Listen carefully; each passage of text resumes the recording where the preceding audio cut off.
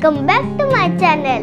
Today we will learn shapes that is plane shapes and solid shapes.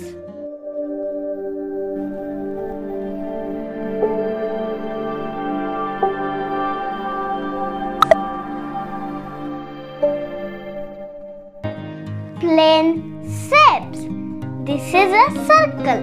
Circle has no sides and no corners. This is a triangle.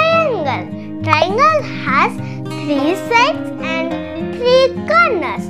This is a square.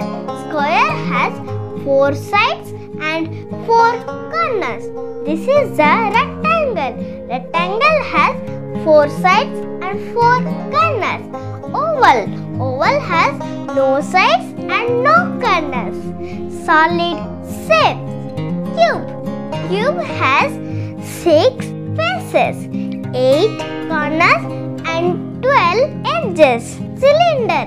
Cylinder has three faces, two edges, and no corners. Cone. Cone has two faces, one edge, and one corner. Cuboid. Cuboid has six faces, 12 edges, and 8 corners. Sphere. Sphere has and no corners, but the sphere has only face. Friends, this is your homework. Learn the spellings of these all shapes. Write two times and draw in your rough work note and label the corner, face and the edges. Thank you for watching my video.